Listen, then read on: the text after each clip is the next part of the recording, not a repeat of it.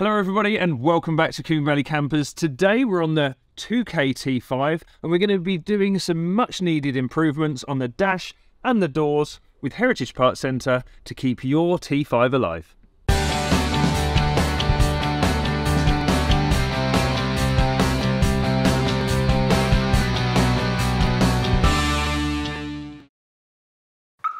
Just want to say thank you to A-Plan Modified Van Insurance for sponsoring this series of Combe Valley campers. We actually have the 2K T5 insured with A-Plan Modified Van Insurance because they will insure your vehicle from the moment you buy it until you convert it to a camper van and beyond. And if you would like a special rate for your next policy, mention Combe Valley Campers at the time you're asking for a quote and they will sort you out. As you may have seen from previous videos, this cab in particular was absolutely disgusting. So what we've done so far is tear the entire thing out. I mean, dash panels, floor, seats, everything came out and we got in there, scrubbed everything down, we've used steam cleaners and we've even improved the headliner by lining it in some four-way stretch carpet.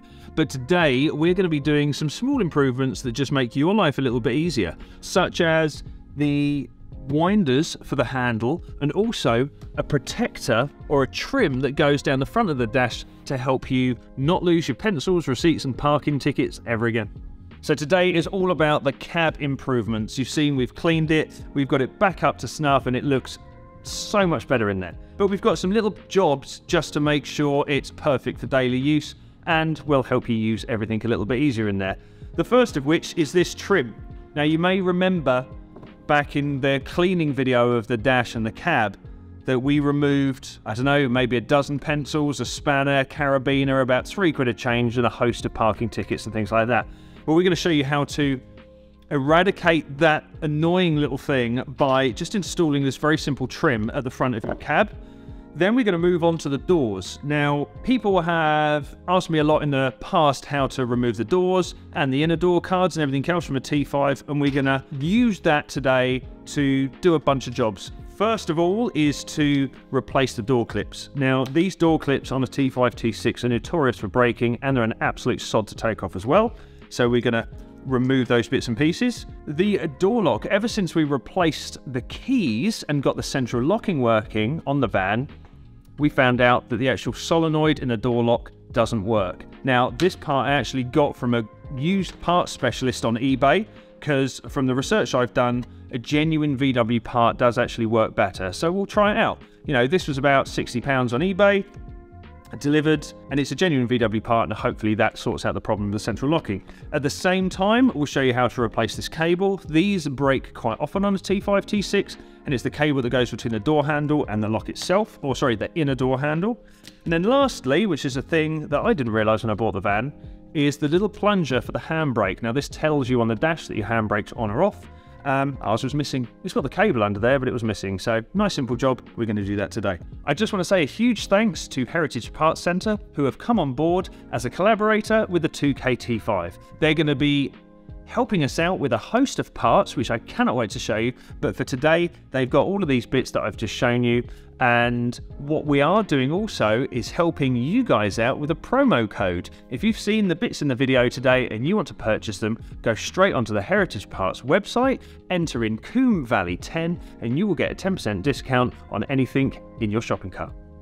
Those of you with a T4 or T5 with winder handles know that they can break. And the part that breaks is this little part in here.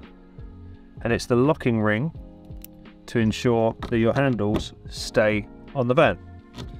What I'm going to show you now is how to replace it with a shiny new one. So the first thing you're going to do is put your locking ring on, making sure that this tab here is in the position that you want your handle to be. Because this little nipple here sits in that part of the handle right there. So I'm going to put the locking ring on, push it in, put the handle on, pushing that in as well. That will slot in here like so. I'm going to line up my two positions and then I'm simply going to push the locking ring up. There we go, locking rings on, handles in position. Took a little bit of fiddling around, but Now I've got a new handle. I think these mechanisms need a bit of grease. There we go. Nice and simple sheet mod. This is in the upright position. Nice easy fix and it won't rub on my leg. So there we go. If you want to buy that part, look at Heritage Part Centre. And if you use the code Combe Valley 10, you get 10% off. Now here's a five minute mod that will help you in your T5 slash T6 forevermore. If you own a T5 or T6, you know that you can lose things down the front of the dash. And we lost a bunch of stuff down here when we were cleaning.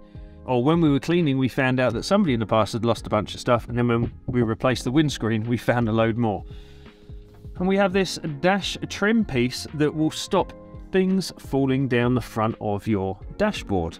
And like I say, five minute mod. It's a case of popping it down the front, trimming it to fit, and then that's it. It doesn't need adhesive on, it doesn't need fixing, it just sits down in the dash there. All you're going to need is your trim, a piece of scrap wood for cutting, and a Stanley. First thing then, I'm going to lay this trim angled side down into the front of the dash. I'm just going to tuck it in there and it sits really nicely along the front of the dash against the window. I can see that it's a touch long, so I'm just going to keep trimming bits off so that it fits nicely against the dash. So I've got my cutting board, just going to make a slice.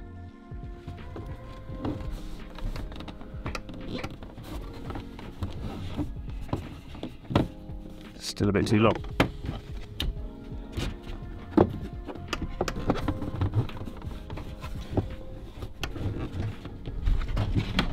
And there we go. I've cut, what, an inch off of that, just over an inch. And now, let's use this pen as an example. I don't lose anything down there anymore. It's not rolling. The furthest it will go is those vents, but it's not going to go further down the dash. So there we go. Nice, easy way of tidying up the front of the dash. It means you won't lose anything down there again. Thanks again for Heritage Parts for supplying uh, the trim piece. And if you want the same, make sure to use Combe Valley 10 at the time of checkout. You'll get a 10% discount. The keys for this vehicle in particular were definitely 200,000 miles old, they were knackered, the batteries had gone, but luckily I had both of them. What we have now are two brand new keys and we've got to thank Richard from Brighton Car Keys who came down to sort these keys and a few keys from the guys in the workshop as well. So thank you very much to Richard. In fact, we've done another video on his whole process back on Project Lockdown, the T4. But what we found out once we got a new key and a new battery is is that this door doesn't open or close with the central locking and after doing a bit of research it's the actual door locking and solenoid mechanism within the door that has gone. So that's why we've bought the good VW second-hand part and today we're going to hopefully get that little pin opening and closing with the central locking button. Let's get straight on with it. The T5 door card then is actually quite easy to remove. You've just got to locate the fastenings, undo them, and then pop the whole door card off. What you've got is a couple of fastenings under here. I'll show you how to remove that trim in the middle in a minute. We've got one fastening in that hole. This one's actually missing, so we'll find something to put back in there. And then you've got to remove the door handle. Now this door handle is broken, which is why I've got the others, and we'll show you how to replace them later. But yeah, it's a case of removing the screws under here, the fastening in here, and then popping the whole lot off, and you require a trim tool to do that. Um, once the poppers are off, you lift the door up and over the locking pin here. And then once that's off, you've got to unhook the cable that runs from this door handle up to the lock. But again, we'll show you how to do that now. So the first thing to remove is this cover on the door handle. And you should just be able to push it up. It can be a bit stubborn. There we go. Gosh, you can see how grim it is under there. And then it fastens in. We've actually got one snap tab there but it just sort of slides down. So no pulling it out, actually just pops off, it pops up and off. Then we've got two large Phillips headed screws in there, so I'll just get them undone now. Next stage then is to release the poppers all the way around the door, or if you've got it, there's the fastening just in here. They can be stubborn, they can break, so be warned, you might want to buy some in advance. But basically what you need to do is get a trim tool behind here, and then try and just pop the clips off. I'm going to try and do this whilst you can still see it with the camera. There we go. So that looks like it's only holding in by one, but once that whole door panel is released, then you need to grab it and slide it up. It's held in against that glass. So if we slide it up, there we go. And you've got to concentrate on releasing it from this pin here. There we go. Clips are falling out and you can just see how grim it is under this door. What you might be left with is some cabling. And then if you take a look just in here, this is where this cable is attached. You lift a small tab and then unhook the cable from the handle and that's released. In order to remove this door card then, there's a stage you have to go through before removing the fastenings around the edge, and that is to effectively disconnect the glass from the winding mechanism, because the winding mechanism of the door is all in this panel here. It's not connected to this part of the door. So the first thing you have to do, in fact, the first thing you're going to have to do before you wind down the window is actually pop off these two access covers here. One and two. And then you need to wind your window down using the electric winder or manual like this one. And then what you'll see appear once you've wound down the window about four or five inches is two 10 millimeter bolts here and you have to undo them. Not all the way, but they are holding in clamps that clamp onto this piece of glass. So what we'll do is just undo them to a point that the glass will become free then we wind the window all the way back up and then hold it up there with some tape and then we can wind that motor all the way down. Okay, so 10 millimeter socket. And we're just undoing them just a couple of turns.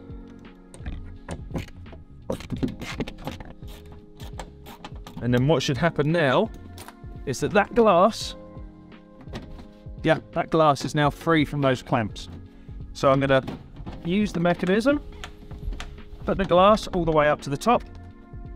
Use masking tape and then we'll tape this piece of glass up into the frame. Do clean your glass inside and out, which I've already done, and then the tape will hold on to it because you don't want that slamming down halfway through you working on it. Once the glass is fastened up there, wind the handles as if you're winding the window back down. And I've pulled it just down to where I can see it again. Now we undo all of these nuts.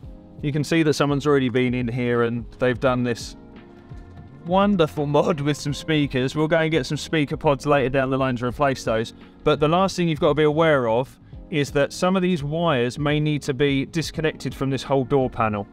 Now you can disconnect the entire loom, thread it through the door, and then remove this entirely. But for what we're doing today, we don't necessarily need to do that. What will need to be done is maybe just unclipping a few of them to give them, to give us a bit of movement with the, with this panel, and then we've just got to loosen this rubber grommet and sleeve here. So when we pull the door handle down, sorry, the door panel down, this will feed back into there and come down this cable. So what we'll do is undo all of those 10 now, keep them safe, put them to one side, and this panel should come off. So we're going to pull the door, door card off now, but again, you've got to be careful that all of these parts sort of thread through. Might take a couple of minutes, but we want effectively this piece to just lay on the floor out of our way.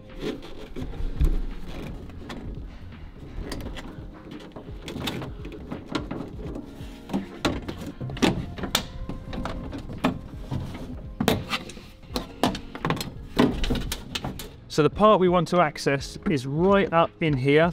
There's already bits broken and coming off. Um, the door lock is actually right in here. Now we have access to all the parts. There is a plug which connects onto the solenoid. So it's the electric communication that goes up to the door lock to tell it to undo and do up. But before we remove this lock there are some parts we have to undo on the side of the door. So let's go and cover that.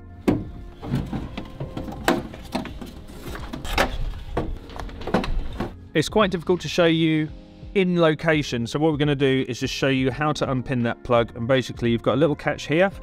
So I'm going to push upwards on the plug, put my thumb in there and undo the clip.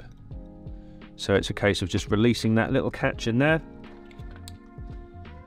Doing that. What's a good idea now actually, let's see if it will work for us. It may or may not. Don't quite know. But I'm just going to try the um, lock and unlock now on the key and see if this actually moves at all. The joys of working on older cars or cars that have had a hard life. I've just gone to test the central locking mechanism for the door. Plugged it in, as you should, press the buttons, nothing works. And I thought initially I bought a dud. So I did. I applied voltage to the pins and on a T5 door module you apply negative and voltage to pins 1 or 2, or 1 and 2. I can't quite remember now which one's neg and pos. But once I applied voltage to the required pins, the door lock mechanism works. In fact, let's do it now, Rev, very, very quickly, and I'll show you. So I've got my probe tester here. If I now I'm putting earth on one, sorry, ground on pin one, there you go. So ground is on pin 1, live is on pin 2. Works. So I know that works. That's great. What I'm not getting is voltage out of the plug at pin 1 or 2 to activate it. I thought, okay, older T5s are a bit notorious for wiring at the control module, which is underneath the seat. If you have a fault where your central locking doesn't work at all, it's highly likely that moisture has set in underneath the cab mat and actually corroded where two live wires join and it's broken it. So look for that. But I thought what I'd do is take a look at the control module first. And I unplugged it and check it out. I'm surprised anything works to be honest. So they're the plugs that I took out the control module and that's inside the control module. So yeah, I'm surprised anything works because I mean, for a start, check that out. That is just dirt. Now, I knew this van was dirty, but that's just next level. So what I'm going to do, I've got my airline, I've got a multitude of different wire brushes and scrubbing brushes and things like that. I'm going to take five minutes, just going to clean this out, plug it back in, let's see if the central locking works then, shall we? If not, we're going to have to delve a little deeper into this.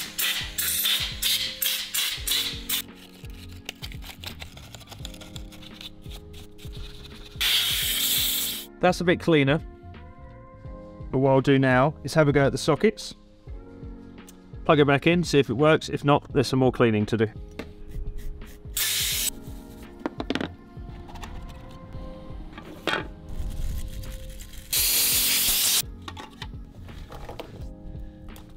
Oh god. It's going to be grim. Interesting development then. So, Underneath the driver's seat is where the control module sits.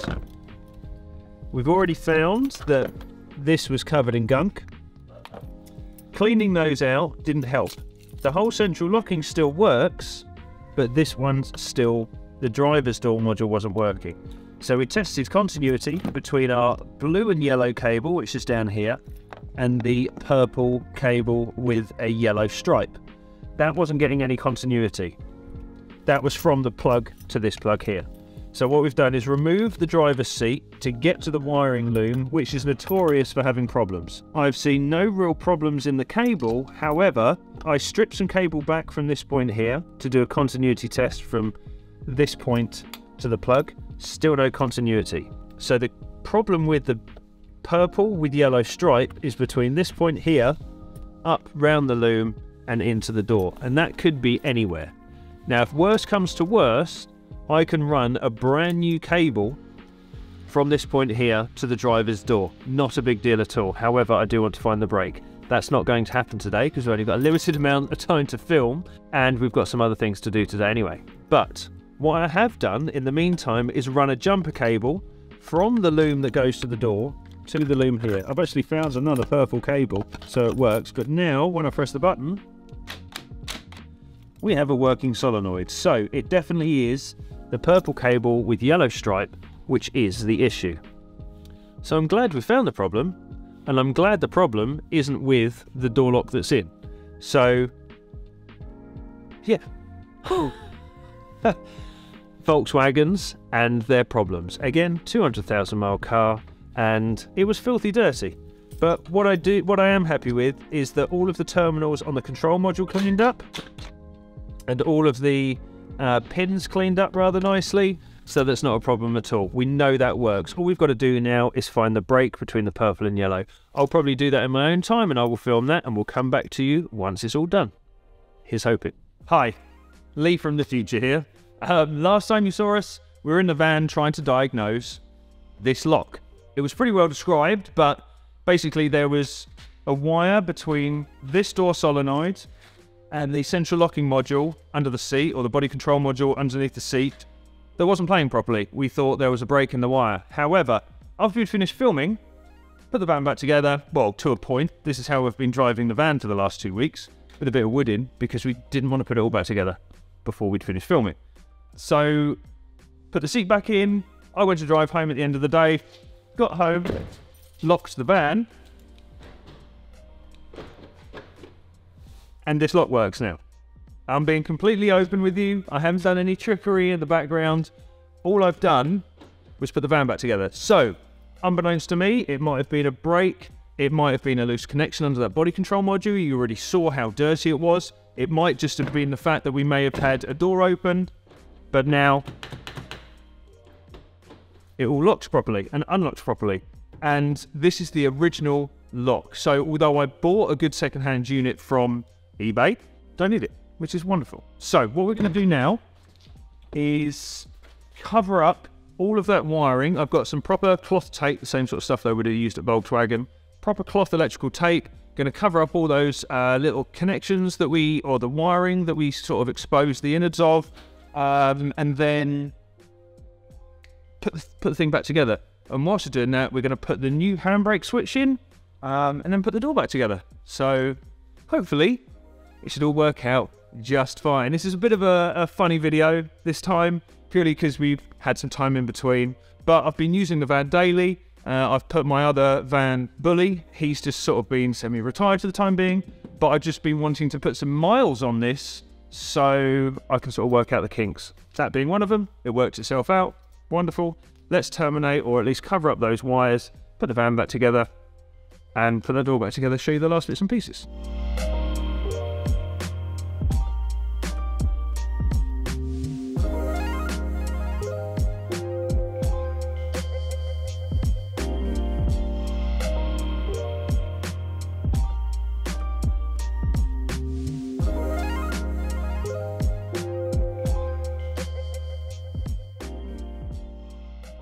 We stripped out the interior of this van, we realised the handbrake didn't actually have a switch, and it's the switch that illuminates on the dash that tells you when your handbrake is on or off.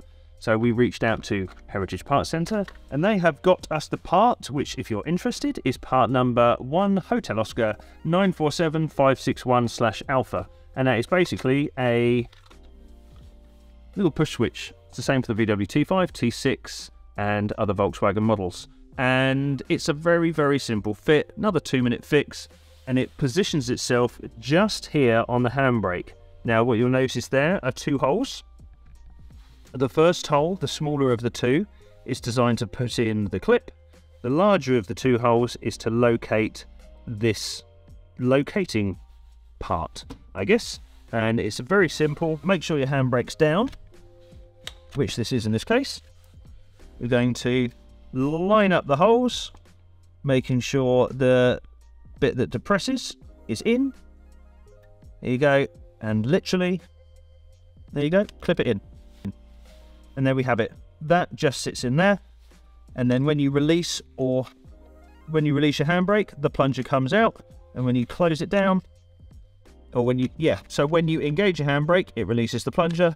Then you let the handbrake off, it makes the contact in the switch and tells you that the handbrake is still in the off position. So now that's in, we can bolt the seat in plug in the clip or the wiring at the bottom, and that's another job done.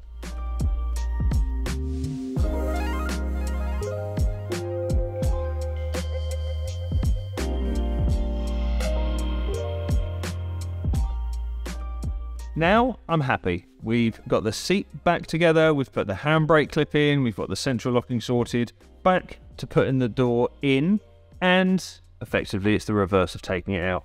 We've taped taped the windows up. Um, now I can remove my piece of wood that's been holding the window up for two weeks, bolt in this panel. So if you remember right, what we did was, I'll pop these back out the other way. Lowered the window down. So once this is bolted in, we lower the window down to match up with these parts of the uh, guides. Glass is down, clamp it together, push the glass back up, and then we can put the door card back on. So what I'm going to do very, very quickly is, because these are quite old and dry, I think I'm just going to spray a little bit of white grease on these runners so they run up and down smoothly because it is quite stiff to put this window up and down. Um, and yeah, call it good. So I'll go and get a bit of work, bit of white grease, and we'll sort that out right now. So our aim here is to just get the guides running a bit smoother. I mean, they're pretty... This, it is what it is. But if we can give it a, uh, a helping hand in coming in the window, going up and down, awesome. As you can see, there was a little bit of grease on there from factory, but over time it dries out. So I've just got some spray grease. I'm literally just going to give it a real light coat, and then I'm going to coat on the uh, actual cables as well. Not going too crazy. And then I'll run the window up and down a couple of times. So if you've got electric windows, plug it back in. And operate the window mechanism in that manner. So I'll put the glass all the way up, theoretically. Spray the cables at the bottom wind the window back down when spraying the cables at the top and then hopefully all of the cables are looped in their guides. Hopefully that should give you some... That's already feeling way better. Because it was a bit stick on this window, truth be told. So what I'm going to do is just hit the backs as well. The backs of those guides. Because they can get dry there as well.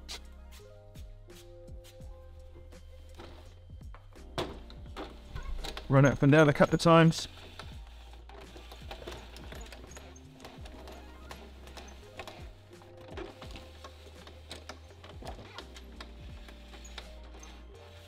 It was always a bit harder getting it up. Now we're lubed up, it's a lot easier. A couple of you might be thinking, but Lee, what about the sound deadening and insulation inside those door panels? There's a reason I'm not doing it today. We're going to revisit the doors on another video with some brand new products from Dodomat that will be available from our shop. And they are a new product especially designed for sound quality. And we're going to be fitting a new stereo and new speakers and some new door pods in this thing. So if you're a little bit patient with us, we're going to revisit the doors and the stereo system another day and we'll do a full rundown on the new products and how to apply them in this door to get the best out of your speakers.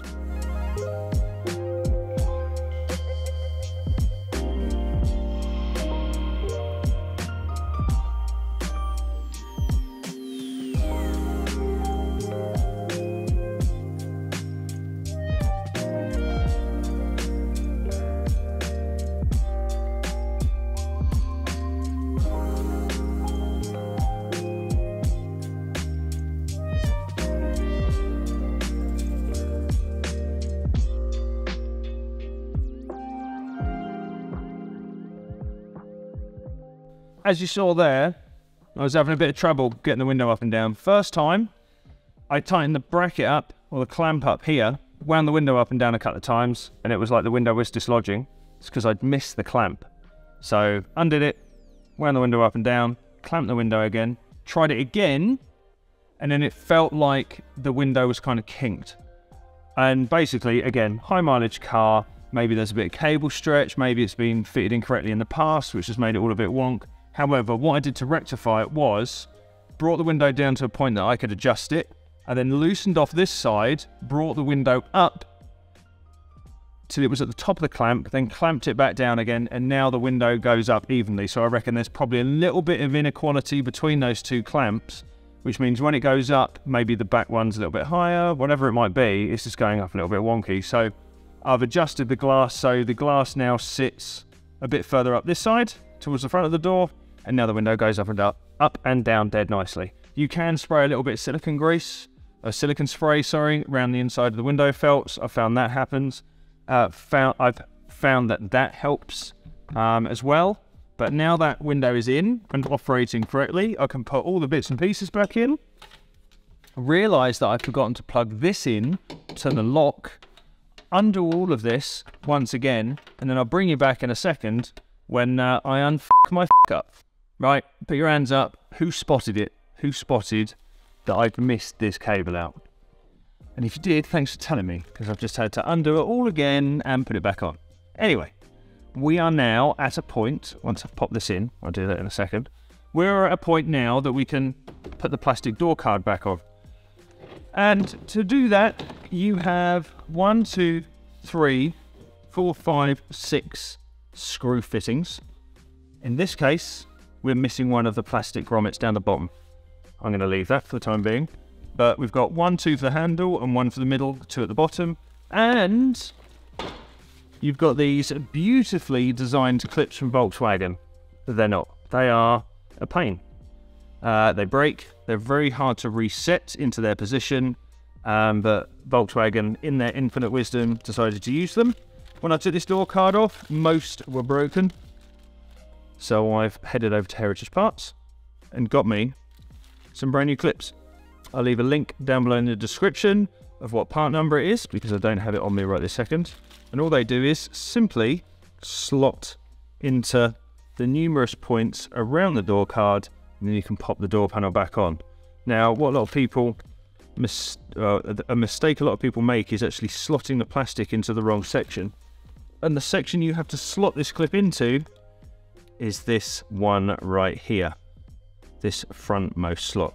This slot just holds the springy part and the slot in the center here is where you pop in your clip. And the point of these is, is once you pop your panel into the door, it does that and then opens up this section here like a Rawlplug in a wall. Now, sadly, they are what they what they are designed to do is when you pull on this, is they're designed to release, but they never do it properly. So that's with the door panel on, and that's with it released. I don't know why, but they never really work properly. So I've got me a pack of these. I'm going to fit all of these onto the door. And then the last job to do is to make sure you've got all your connections on the door.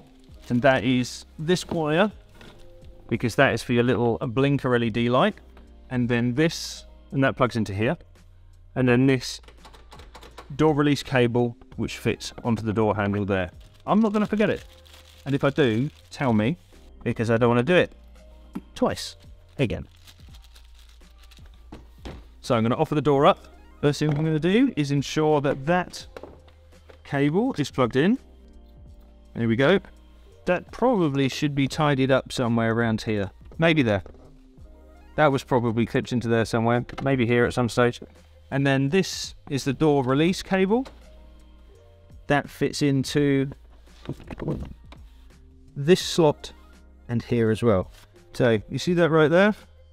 I'm going to hook this cable in there. That's the bit that does the pulling. I'm going to slot the clip in just there.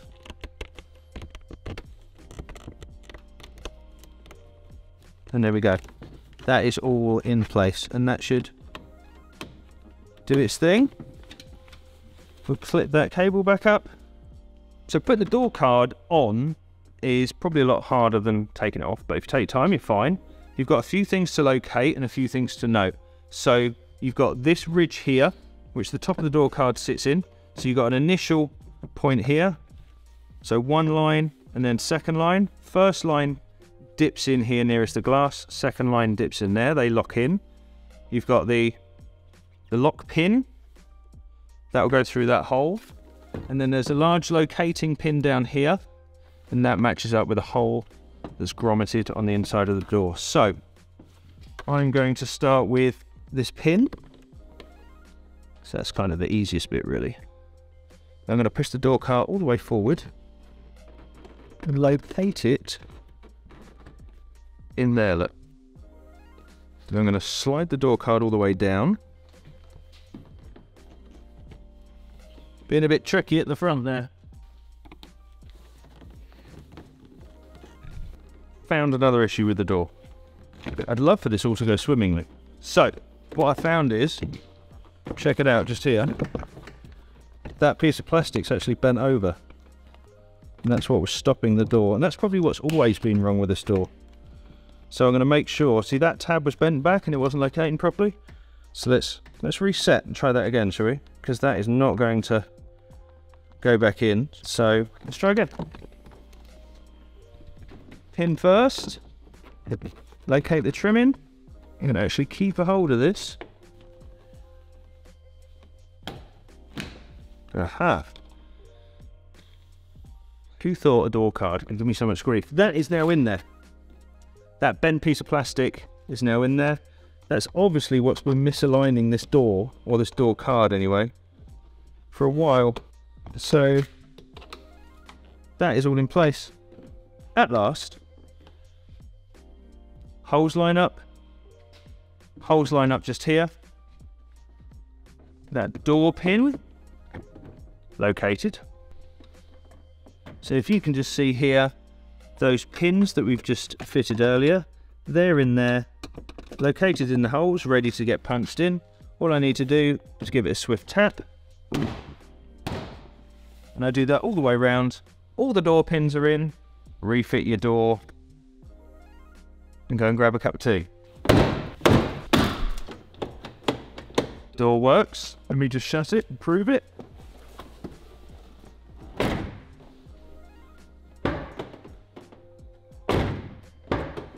Lovely. And should we do a real test? We'll close all the doors and just test the central locking because that's the thing that we really needed to do. One second. We are there. Central locking done. Locks. Unlocks.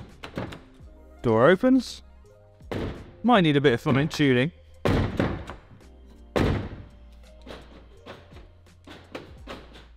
Lovely. So, now we know it works. Let's put the screws in. Now, half of the screws on this thing were missing. So I've raided my parts bin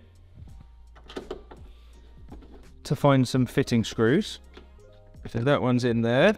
And these two are the most important. They're like an M6 cross-headed or Phillips screw. They go in there. It's that one. In the center, We've got another large Phillip headed screw. That goes in the center pin. Threading the needle. Nice. Now, at the beginning of the video, I did say, well, I didn't mention the two at the bottom, or the three, should be three, at the bottom. It's because it didn't have them, so I forgot about them. However, we are going to replace the missing ones and again, rated by parts bin. These, I believe these are actually VW screws. Pop them in. That will not only make the door card quieter, doesn't rattle, but more secure too. And I look forward to doing this door again with you because next time this door card's off, we may even be replacing them for some nice posh new versions or some Caravelle versions, that's a possibility. But the main reason we'll be taking these door cards off is to fit new stereo equipment. And I, you know what, I'm not a big stereo user, but we're going to be doing some miles in this. So that will be a really good, a really good upgrade. Now, as you saw us do on the other side, we've got these brand new winder handles from Heritage Parts. That one goes on here. I match up the niffle with the top section. Thread it on, push. And there we go. We have windy windows, we have a door that opens and the final bit of trim, whoops, final bit of trim is this one here which kind of slots into place. There we go, that's in. That's your strong handle there. And there we have it. We've greased the window winder channels. We investigated the lock on the central locking. Turns out didn't need it.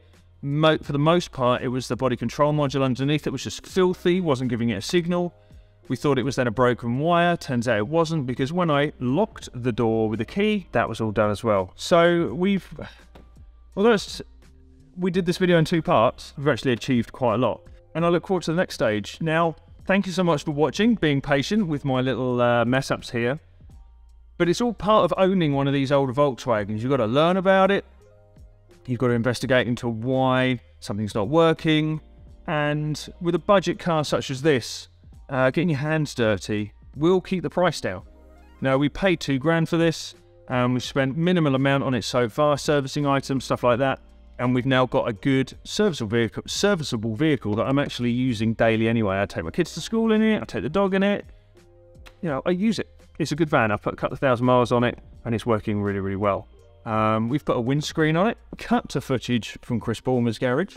I wanted to put the dash back together, so before I did that, we had the windscreen put in, took it over to Mr. B's uh, body shop over in Bexhill. We whipped the screen out, cleaned and rust prepared all of the frame because that had got a bit rusty, which is why the screen was leaking. Popped that in, bang in. Thank you very much, Chris from Mr. B's body shop. Um, what else we done? I'm trying to think. Lots of stuff. But next week, we have got, or next video, should I say, we have got a real surprise. Suspension and wheels. Now we've done a lot of work to go and get these suspension and wheels and I cannot wait. It's going to give this van an entirely different look and uh, it's going to prepare us for lots of adventures to come. So until next time, thank you so much. If you have liked this video, show me. Leave a little click on the thumbs up, the like, really helps us out as a channel, helps get it out there to people. Or if you know other people that might want to see this sort of video, please be sure to share it. And if you haven't done so yet, please also subscribe. Um, it's a bit of an, initi an initiative now of ours pushing forward because you know there's lots of people that will benefit from these types of things. So thank you once again. I'm Lee. This is Combe Campers, and we'll see you on the next episode of the 2KT5.